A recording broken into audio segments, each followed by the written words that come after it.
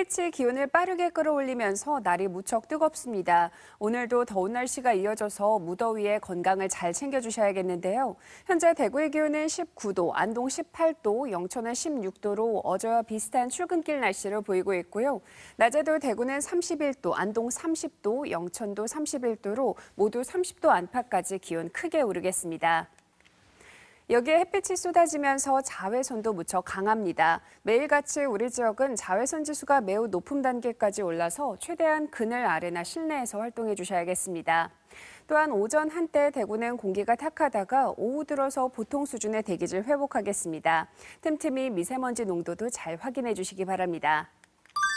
위성 영상 보시면 오늘은 동진하는 고기압의 가장자리에 들면서 우리 지역은 파란 하늘 위로 구름이 많이 지나겠습니다. 자세한 적별 날씨입니다. 대구의 현재 기온 19도, 고령 16도 보이고 있습니다. 낮 최고 기온은 대구 31도, 고령 29도까지 오르겠습니다.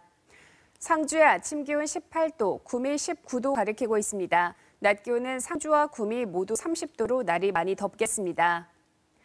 안동의 현재 기온 18도, 의성 17도로 하루를 시작합니다. 낮에는 안동 30도, 의성 31도로 어제와 기온이 비슷하겠습니다.